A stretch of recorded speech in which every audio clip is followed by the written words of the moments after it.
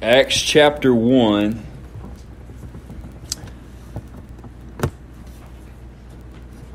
And we're going to read this morning, beginning in verse 4. It says, And being assembled together with them, he commanded them that they should not depart from Jerusalem, but wait for the promise of the Father, which saith he, You have heard of me. For John truly baptized with water, but you shall be baptized with the Holy Ghost not many days hence. When they therefore were come together, they asked of him, saying, Lord, will you at this time restore again the kingdom of Israel? And he said unto them, It is not for you to know the times or the season which the Father has put in his own power.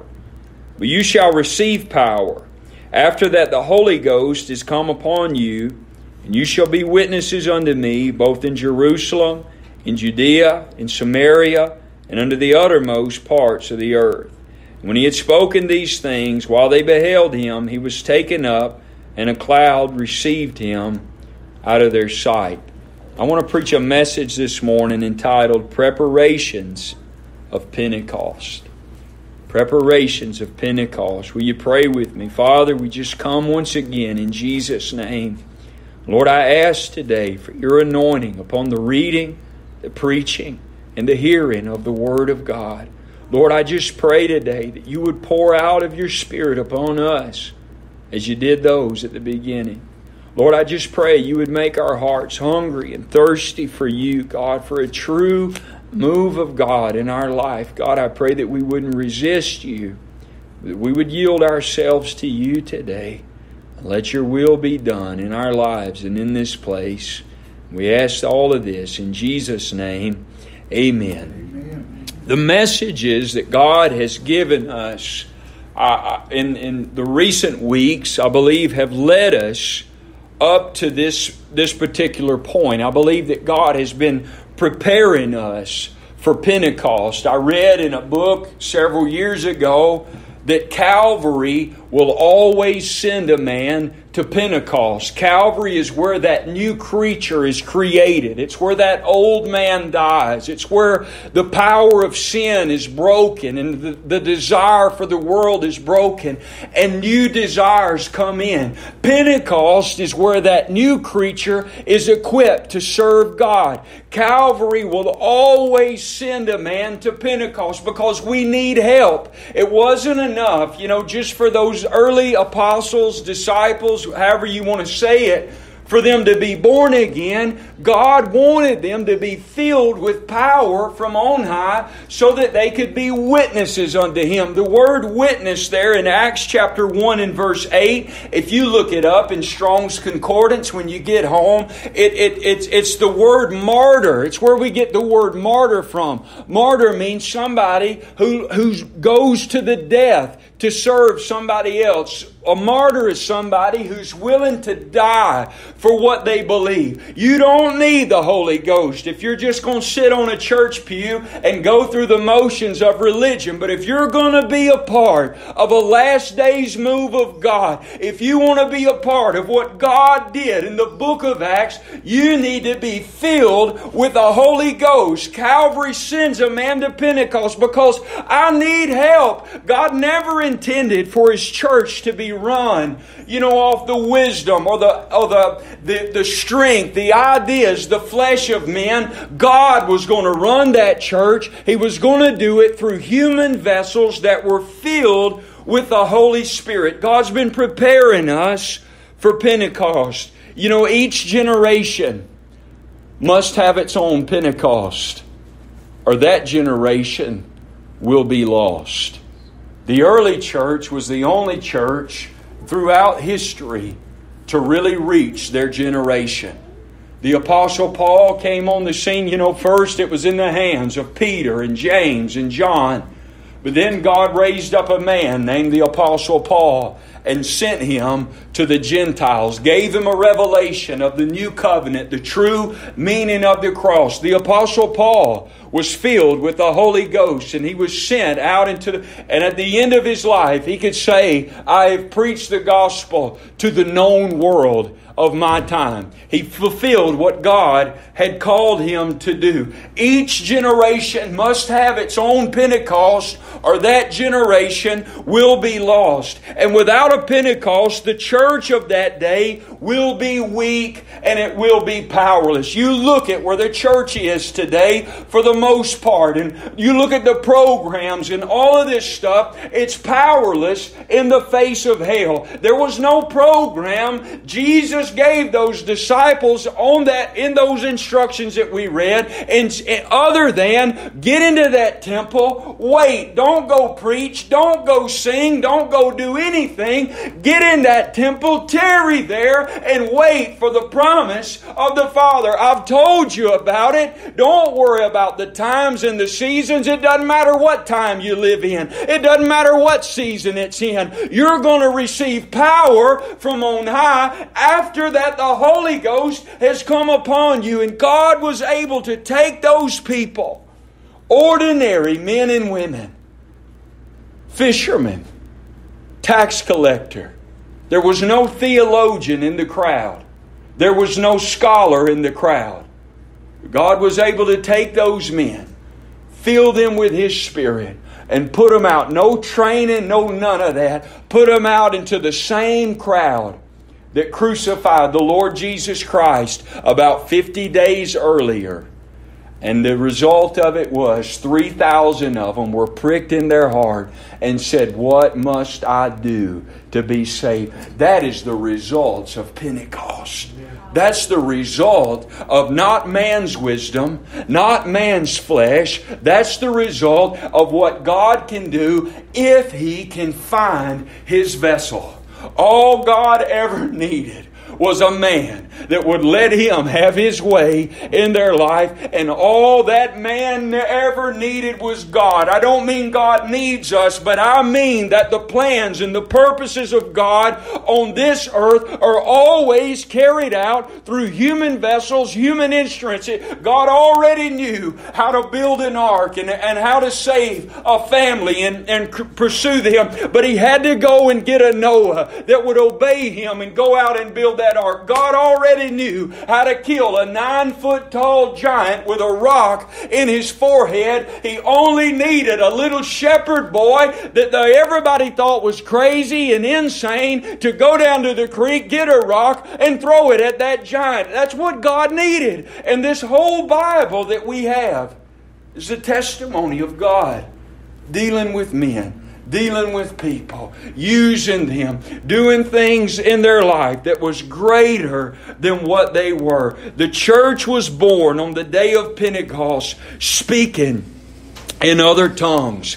Peter, James, Paul, even Mary, all of them were Pentecostal. I don't mean Pentecostal in some denomination or some hairdo or some dress code. I mean Pentecostal in experience. When you talk about being Pentecostal, that means you believe in, you identify with, you want, or you have received what those disciples received on the day of Pentecost, being filled with the Holy Ghost, with the evidence of speaking in other tongues. Pentecost in experience. Religion has conditioned us. You know, I grew up in a place I didn't know a thing about the Holy Ghost. I'm not a fifth generation Pentecostal preacher. I'm a first generation preacher. I, I come from a place where I think just most people in Mississippi only go so far with God. We get a little enough security that I'm going to go to heaven when I die. I don't worry about the rest of it.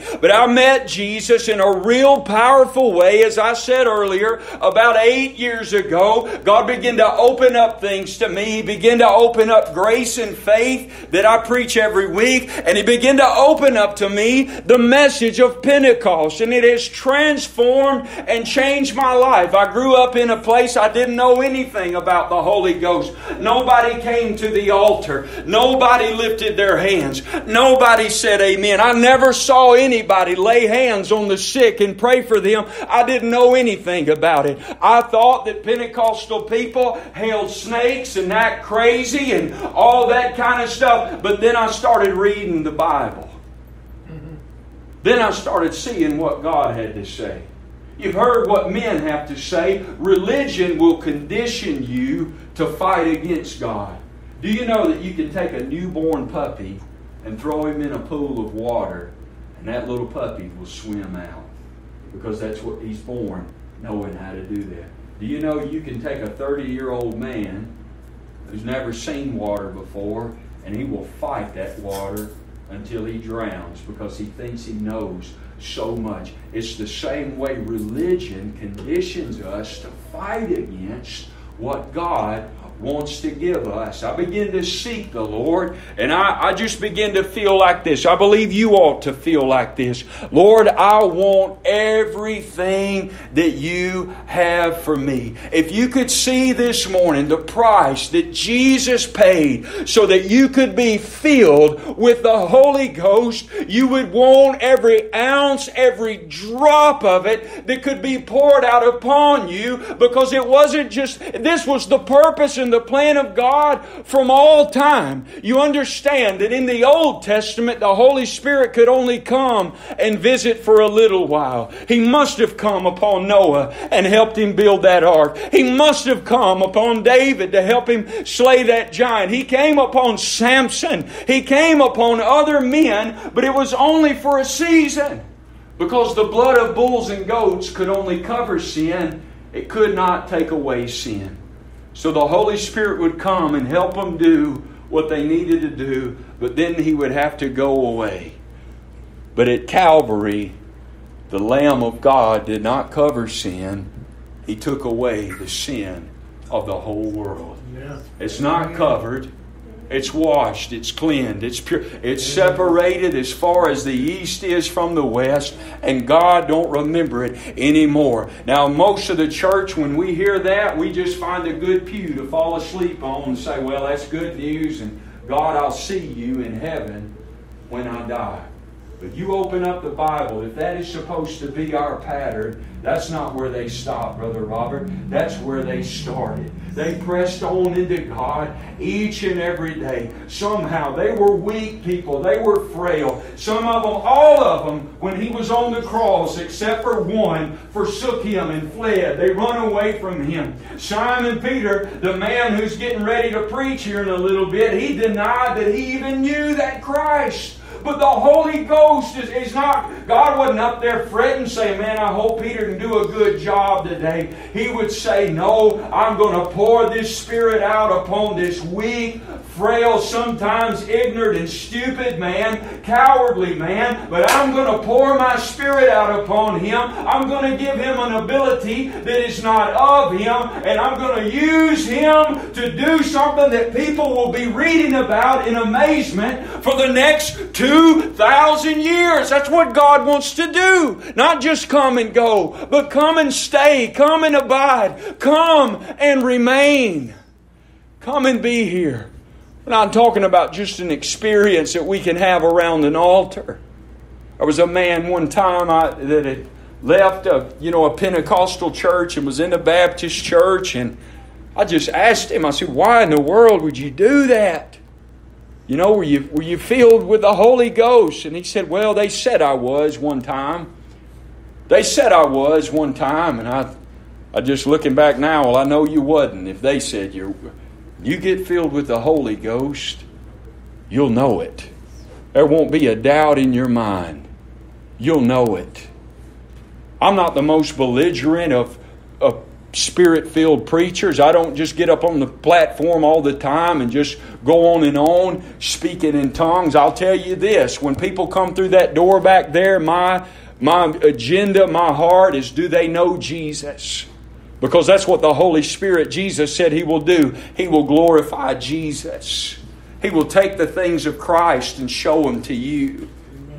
So, the, the, the, the thrust of my ministry, what I believe God has called me to do, is to preach Christ. That's what the Holy Ghost at work in me calls me to do, to preach Christ. I've told you, it's not my nature to, to, to get up here and talk and to say all these things. I'm fine. I can work on that farm all day long and not say three words, but God came upon me and filled me and called me into the ministry so that where I get it, if I get an opportunity to speak into somebody's life that will make an eternal difference, I don't want to be staring at the floor. I don't want to be wringing my hands. I want to say it with all the love, all the boldness, all the clarity in my heart because it's so real to it's the most real thing that I know of.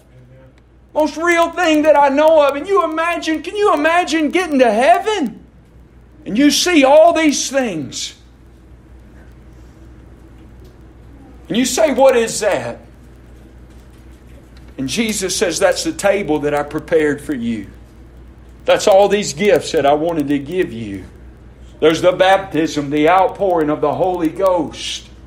There's a gift of healing. There's a gift of prophecy. There's a gift of miracles. There's a gift of faith. There's all these things that are in the Bible, not something some man went and made out of. Do you believe this Bible? Do you believe Jesus Christ is the same yesterday, today, and forever? And you said, No, I don't want all that. I just want to go to heaven.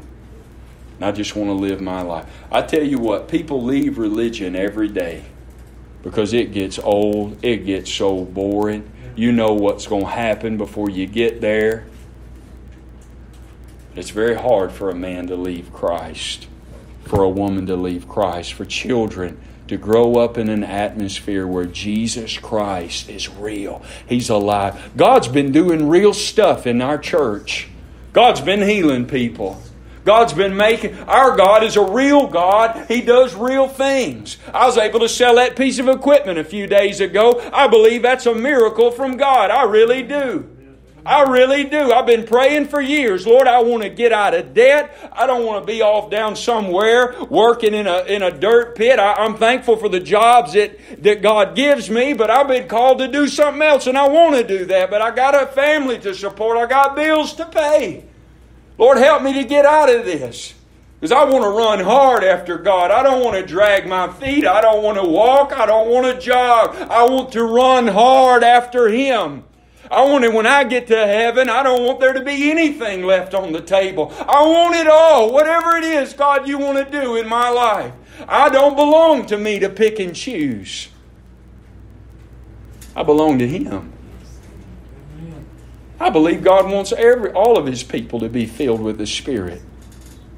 When people get filled with the Spirit, they speak in tongues. You see that in the Bible. But it's not so we can just sit in here and rattle that off. That ain't what they did. They went out into that dark, lost world and preached Christ. They healed the sick. They cast out devils.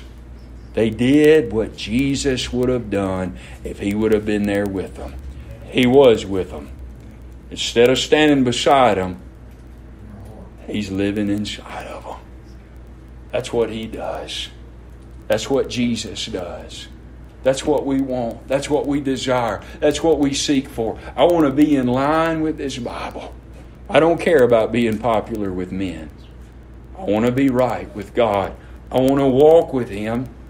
I want to know what God is doing and go with Him.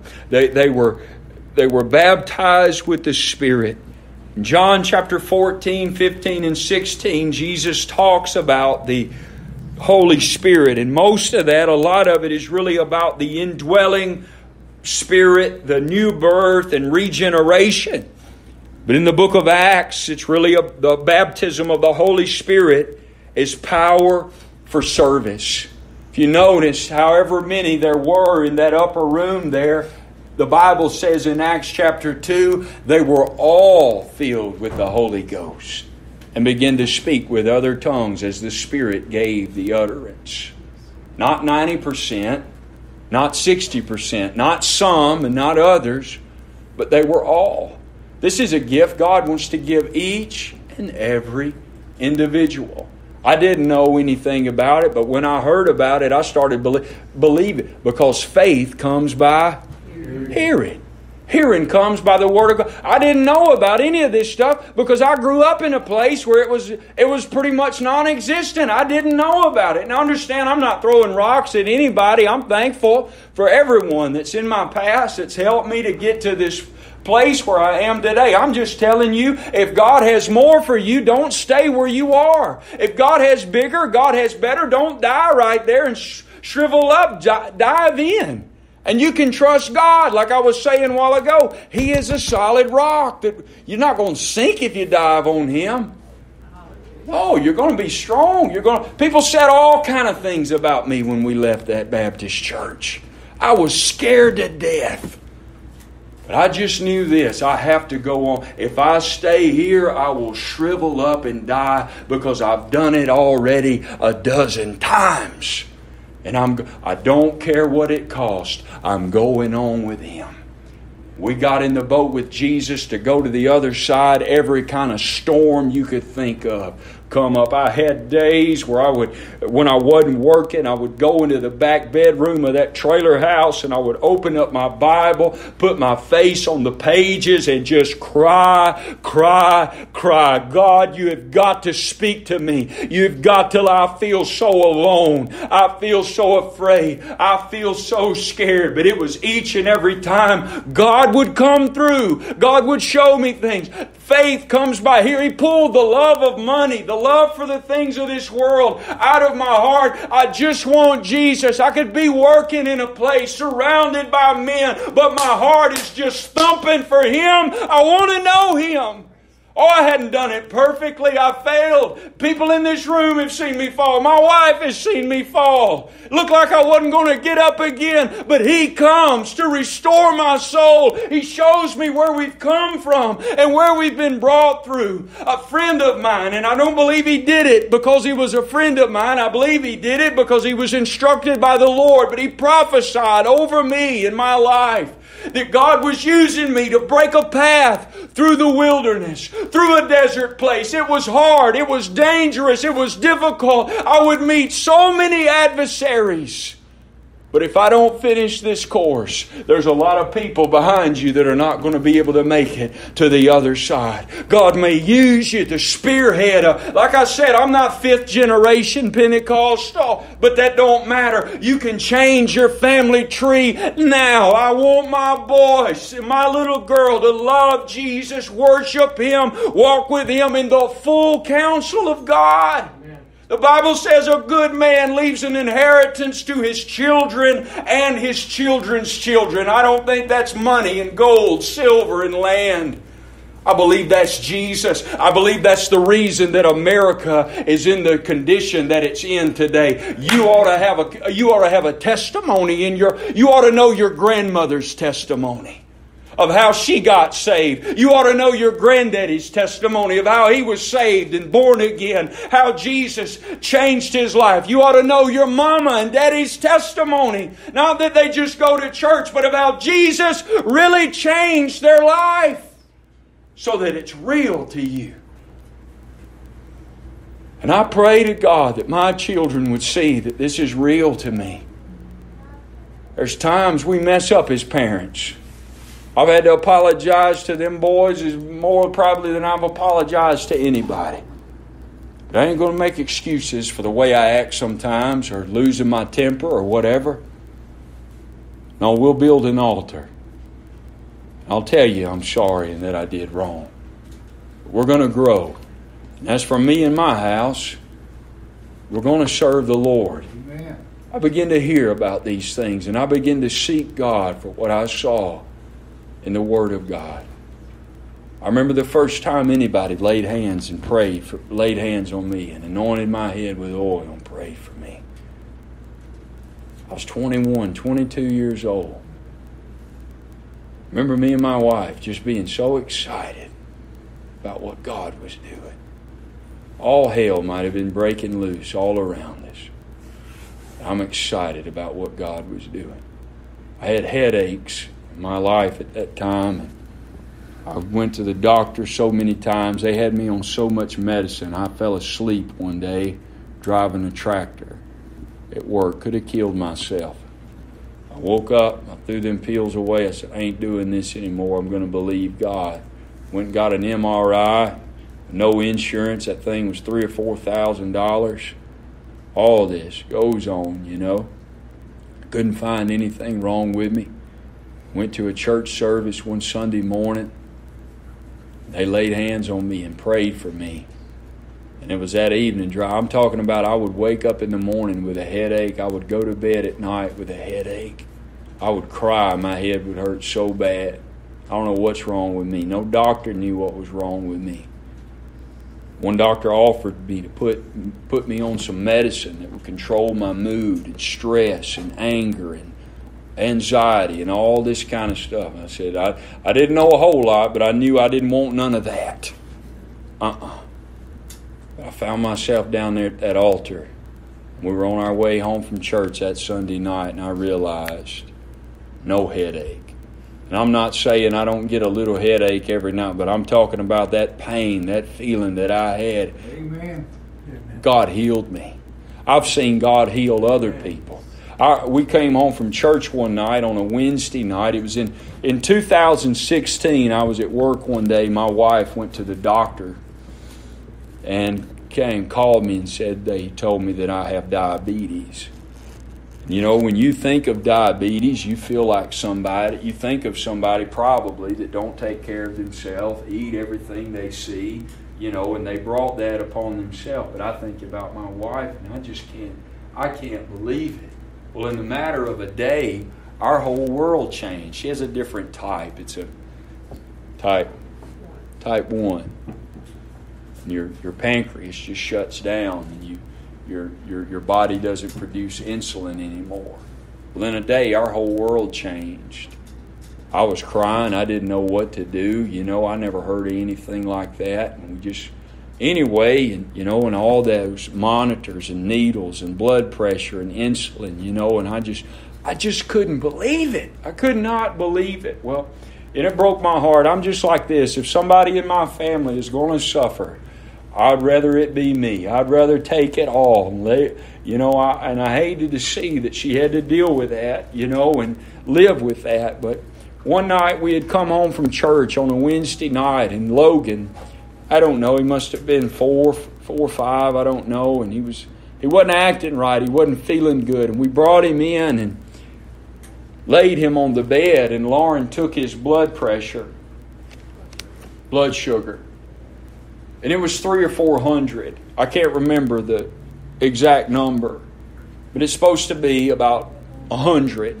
This is enough to kill somebody where his blood pressure is. And it was just like a knife stabbed in my heart. And I just said, I didn't know what to do. Lauren was saying, We got to go. We got to get him to the hospital. We got to go. And I just said, you, You've got to give me a minute. You have to wait because all I could see was that little boy with all those needles and all that stuff, you know, and I just, I, I just, I, I couldn't deal with that. I couldn't take that. So I took him in there and I laid him on the bed. He's barely moving, he's just breathing.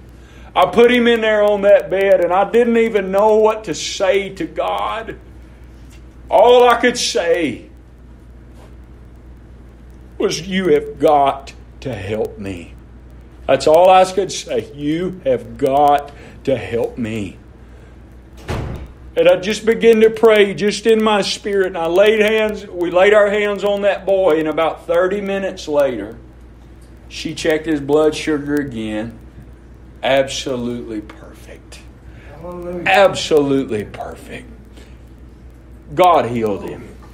God came into that room. God did that. I've seen, a, I could go on and on. I've walked into hospital rooms where I'm getting ready to preach somebody's funeral. Me and my wife have gone in. I'm not a healer. I'm not trying to communicate. I'm just telling you I believe in a God that can heal.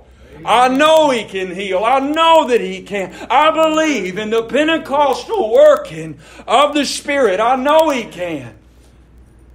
People, I'm getting ready to preach that funeral, and here they come. Walk back into church a few weeks later. Amen. I've had other people that I prayed and believed God for that it didn't turn out the way I wanted to. But I still know He's a healer. He's still, I still know He is. I've seen too much. I'm convinced of it. The coming of the Spirit was power for service, power to serve God. You don't have to speak in tongues to go to heaven. You don't have to be baptized with the Holy Ghost to go to heaven. That's not what I'm saying. But you need it for power, for service. If you want to serve God, you want to live like they lived, you want to walk. God never intended for His church to be run through the flesh, through man's wisdom, man's power. But God was going to run that church through human vessels that were filled with the Spirit. If you read in the book of Acts, uh, excuse me, if you read in the Bible at the end of all the Gospels, the disciples are filled with mourning. Even you know, after the cross, they were, they were mourning, they were sad. Even after they saw him resurrected, they were still just. Peter said, I'm going back fishing. I, I don't know what to do. I don't know what this is about. Maybe I've failed too bad. Maybe I've messed up too much. I, I don't know. The easiest thing for any of us to do is to go back to that old life. If we don't keep walking with Jesus, that's where we're going. Back to that old life. It's the Holy Spirit that makes Jesus more real, more fresh, more sweet each and every day. Oh, I was talking to Carter this week and I was just telling him the script. I believe it's Lamentations 3:23. But the Bible says that God's mercy is new every morning. Great is thy faithfulness, Lord, unto me. And I was just telling him, you know, just how if yesterday was a bad day, Today is not yesterday. If today was a bad day, tomorrow is not today. And when you see that sun coming up in the morning, let it be a reminder God's mercy is new. Today is a new day. Don't let to, yesterday carry off into today. Don't let today carry off into tomorrow. It's a new day. God has new mercies. God has new things that, that He wants to do in each and every one of us. But those disciples, you know, they're mourning, they're sad. Jesus would talk about going to the cross, dying, be raised again on the third day. They Peter take him and shake him and say, No, Lord, you're not going to no cross. Well, you have to understand one of the things was they saw all the good that Jesus was doing. He's healing the sick. He's casting out devils. He's feeding the hungry. He's doing all this stuff. He's making people that have been abandoned and rejected by religion, now they're feeling the true love of God, the true love of the Father that they find in Jesus. What good's it going to do for you to die? If you die, all this is going to stop. Acts 10:38, the Bible says of the story of how God anointed Jesus of Nazareth with the Holy Ghost. He went about healing the sick, uh, casting out devils, and doing good to all that were oppressed by the devil because God was with him. And they couldn't understand why he would die. They're sad, they're mourning after he did. But you flip over into the book of Acts, there's no mourning. There's no sadness in the book of Acts because that same Christ that they saw go up in those clouds came back in the Holy Spirit on the day of Pentecost. Jesus said in John 14, 18, He said, I will not leave you comfortless. I will come unto you. The word comfortless means an orphan.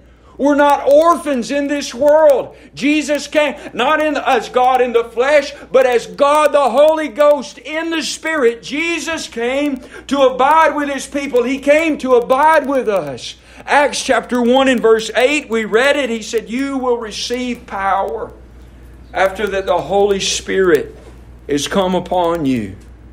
Matthew 28 18, Jesus said, All power in heaven and earth it has been given unto me.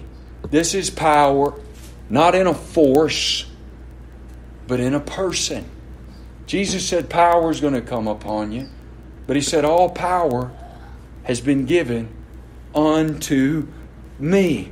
God in the person of the Holy Spirit. This is a good gift. This is what God wants to give to all of His church. If you Flip over a few pages just quickly. Flip with me to Luke chapter 11. We're going to be talking about a lot of this in our discipleship class. I failed to mention that in our announcements earlier, but there'll be no church here tonight. Going on vacation, going to the mountains. Somebody paid for us to go on vacation, and we appreciate that. We're going up there. Be no church here tonight, but We'll be here next Sunday morning at 10 o'clock. Next Sunday night at 6 o'clock, we're going to start our foundations class. We're going to go through that. We're going to talk more about the Spirit of God and the way He moves in that class on Sunday nights at 6 o'clock. But Jesus in Luke chapter 11 and verse 9, He said, And I say unto you, ask, and it shall be given to you. Seek, and you shall find. Knock, and it shall be open unto you. For everyone that asks receives. Everybody say, everyone. Everyone, everyone that asks receives, and he that seeks finds, and to him that knocks it shall be open. Listen to this now. If a son shall ask bread of any of you fathers, will you give him a stone? Or if your son asks you for a fish, will you give him a scorpion instead? A, a serpent, a snake instead? Or if he asks for an egg, Will you give him an egg containing a scorpion? Listen to this. If you then, being evil, know how to give good gifts to your children, how much more shall your heavenly Father give the Holy Spirit to them that ask him? You know, I've heard people say, most of it was just ignorance, they didn't know any better. They say, you know, Pentecost is of the devil. I couldn't think of you. You need to be very, very careful by saying that because Jesus said this. You can say what you want to say about the Father, you can say what you want to say about His Son, but if you blaspheme that Holy Ghost, I won't forgive you in this life or in the life to come.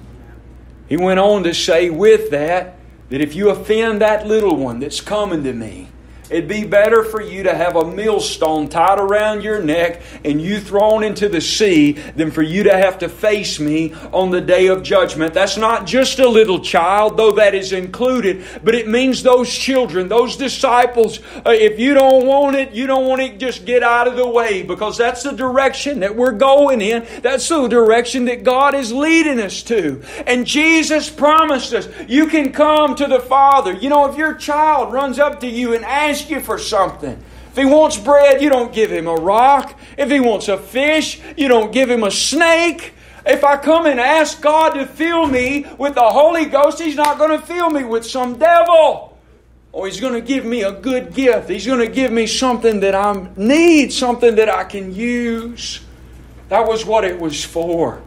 It was to be used for a purpose, it was a weapon that they would use. The Bible says in 2 Corinthians chapter 10 and verse 5 that the weapons of our warfare are not carnal, but they are mighty through God to the pulling down of every stronghold and everything that exalts itself against the knowledge of God.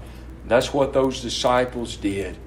They went out and they did warfare each and every day, warfare against that devil and they pulled down his strongholds. They tore down everything that exalted itself against the knowledge of God. They lived in conflict, just like Jesus did. Every day that Jesus lived, there was a great warfare because he was the only one on this earth that was really subject to his Father. Can you imagine that? The only one on the planet really walking with God. The only one, completely subject to his Father. Other men, their mind was on paying their bills, taking care of their families, having a good day. There were other men there who were religious men, but we know the Pharisees and Sadducees, it was all external. It was nothing going on in their heart. They weren't really right with God. There were other people there that were controlled and possessed by demon spirits. There were other men there. They served Rome. They served King Herod. They served Caesar. But Jesus was able to walk in the midst of all of that. He said, I only go where my Father tells me to go. I only say what I hear my Father say. I only do what my Father has commanded me to do. The Bible says in 1 John chapter 3 and verse 8, For this purpose was the Son of God manifested, that he might destroy the works of the devil. And that's what he did. everywhere he went. He healed sickness. He overcame death. He cleansed sin. He confronted religion everywhere he lived. Everywhere he went, there was conflict. He didn't come to defend heaven. But as one man said, he came as a man of war and he declared war on the devil from the beginning of the ministry. He whipped him each and every day. And then at Calvary, the Bible says he finished the job. He overcome that serpent. He bruised his head. He overcome this world. He overcome everything that would come against us. And he hands us the victory. But you have to believe it. You have to want it. You have to say, I see it, I believe it, and I'm going to walk in it. I'm going to walk as He walked. I'm going to walk in that anointing. I'm going to walk in that power. I'm not just hoping to slide into heaven. I want to do what He did. I want to confront the devil in my life, in my family, in my world, where I work, in my church. I want to see another Pentecost. I want to see God do what only God could do. Amen. That was the body of Christ, the literal body on that day. After he ascended into heaven, and on the day of Pentecost, he took up another body. Now he's in Peter. Now he's in James. Now he's in John. Now he's in his mother Mary. Now he's in Mary Magdalene. Now he's in Matthew. Now he's in all of these people. A little bit later, he's going to be in 3,000 more that were born again on the day of Pentecost. This is why Jesus said, The works that I've done, you've seen them, but greater works are you're going to do because I'm going to my Father. Not meaning that we'll do greater things than Jesus did, but it'll be greater in quantity because God is not limited to one Jewish man walking around Jerusalem. God's in you. God's in me. God's in a couple billion people all around this world this morning. In you. Walk in it. Walk in the Spirit. Oh God, let Him have His way in your life. The true church in their day were the only ones in the world truly subject to the Father. Everywhere they went, there was conflict. Some of you are running into conflict in your life. And it's because in this world, you're only one of the few that is really subject to the Father. Everything else is out of line. This is a messed up, sin filled world. Amen. God, if you're a believer, God has taken you and placed you into Christ. That is reality. Yeah. The Spirit of God helps us to see what we cannot see. The reality in this world, what do you look like? How much money do you have? What do you drive? Where do you live? Where do you work? Who do you hang out with? But the reality with God is do you know my son? Amen. Does he live in you? Who's building your life? Am I the potter or are you the potter? Am I is my spirit at work in your life or are you the spirit that's at work in your life? That's what it all boils down to. That's how this world is going to be separated in the end. No gray area. And you're going if you're going to walk with Jesus, you're going to live in conflict. Can you imagine the Holy Spirit just tiptoeing around the devil? Hope he don't notice me. Mm-hmm. Hope I don't aggravate him today. I don't really feel like dealing with it. I just can see him just walking right up there and smacking him upside the head. What are you doing here? Get out of here. You've got no right. You've got no authority. You are stripped of your power, your authority. I know the truth about you, devil. You may have deceived this whole world, but Jesus crushed your head. He did not die in weakness. He did not die a victim. He died as a man of war. I'm not preaching about a dead hero this morning, but I'm talking about a living, glorified Christ who lives in the hearts and lives of his people. Yes, he's real. Yes, he's real. And it's the Holy Ghost that makes him real and alive in his church. Anything outside of that is a corpse. And it just needs to be buried. Get it out of sight. God wants to live inside of us. God wants to work inside of. There's going to be conflict. They went to prison. They were beaten. They were stoned. Shipwrecked, left for dead. All kind of things said about them.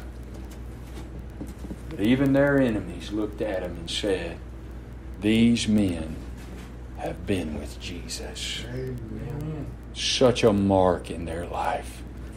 I just, uh, that's what I want as my testimony. This man has been with Jesus. Why? Because I can see him in you. Jesus said, If you've seen me, you've seen the Father. I believe that the true church ought to be able to say, If you've seen me, you've seen Jesus. No, I'm not him, and I'll never be him. But if He lives inside of me, you ought to be able to see it. You ought to be able to tell it. No matter how great the conflict, the Holy Spirit will give you the power for Christ to be revealed in your life. You know, I just think about my own self. If I was walking somewhere going to preach and they jumped on me with rods and stones and they beat me, I don't know what would come out. It probably would not be forgive them because they don't know what they're doing. I'd be trying to grab one of them stones after it bounced off of me. Take that rod out of your hand. You better run, you know, you better kill me with it before I get up from here. That's that old man. That's my flesh. That's man's wisdom. That's that's the Spirit of God wants to come and consume that so we're so full of Jesus that you squeeze me any way you want to, and what's on the inside is going to come out. I pray to God that it would be Christ. This is what we're talking about, folks. Not just some crazy emotion, anything like that. I'm talking about the true Spirit of the living God to make Christ real in this world to make Christ real in your heart, to make Him real in your life. I'll tell you this God's purpose with us in this life is threefold, and it all has to do with the Spirit. That you would be born of the Spirit, filled with the Spirit, and that you would be led by the Spirit of God. Is God in our world today. I can tell you this God stood on this earth at one time and they didn't want him, they could not recognize him. Even the most religious. They called him a demon possessed blasphemer. They stripped him naked, they beat him, and they nailed him to a tree and said, We do not want you. That same God has come back in the Holy Spirit. Some said these men are drunk and mockers and all such things like that. But some people rose up and said, That's what I want. That's what I need. On that day of Pentecost, the Spirit came in a new day, in a new way. And it was the birthday of the church. Again, God took ordinary people and used them to do supernatural, extraordinary things. Today, this same God that's what he's looking for now. Is just willing vessels. The only requirement there is to be filled with the Holy Spirit is that you be born again, that you be saved. It's just like everything else. You can't earn it,